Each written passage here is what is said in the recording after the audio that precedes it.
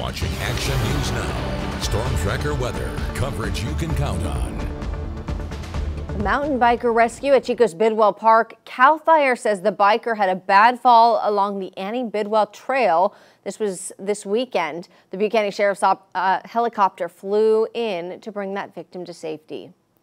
And clear skies today over northern Butte County and still a little bit of ice and snow on the mountain tops out there. Chief Meteorologist Jason Stiff is tracking conditions for us.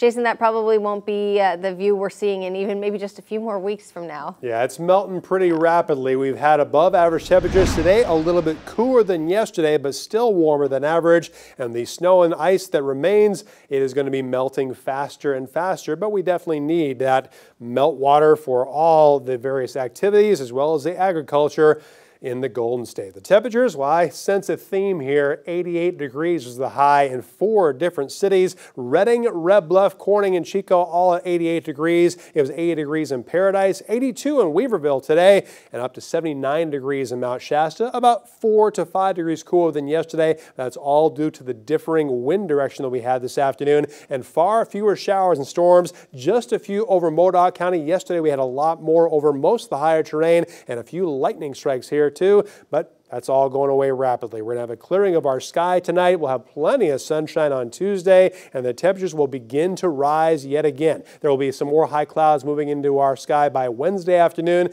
but they're not rain or snow bearing clouds, certainly not snow this time of year. That air mass is just too warm for that. And our weather this coming week, this third week of May, it's going to be all about that ridge staying in control of the weather of the west coast. There'll be just enough energy and moisture to cause showers and isolated thunderstorms over the higher terrain about as far as the Sierra Crest, but it's going to be pretty tough, if not impossible, to have the rain pushing down into the foothills and the valley on the west side. So we'll have a few clouds in here and there, some isolated showers of rain, also some thunderstorms, but that's really about it for us. If you live anywhere on the valley, expect a lot of heat. We're not going to have a lot of wind, thankfully. We don't want the increased fire danger, but we're not going to have any of the rain gauges filling up anytime soon. So I want to show you one of our seven-day forecast models. Even in the higher elevations, most places places at or below a tenth of an inch of rain. I'll show you our other long-term model in the second half hour, but it won't be too much different from that. And as far as our wind gusts, not too much wind tonight. We'll have a nice, mild, quiet night and morning. Tuesday afternoon, we're going to have plenty of sunshine, very little wind, just enough of a breeze pushing down the valley to give us more heat.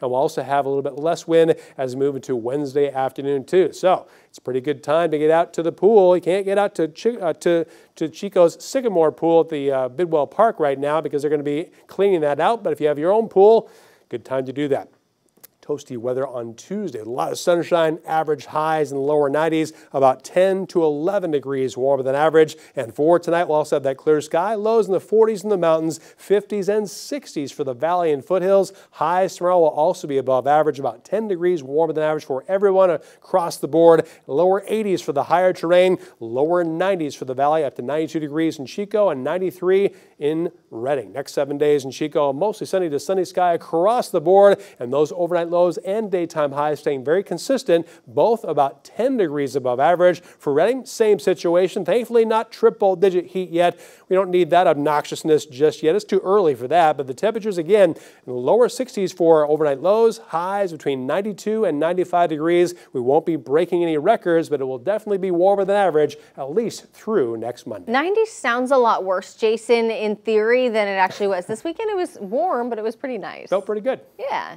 All right, thanks.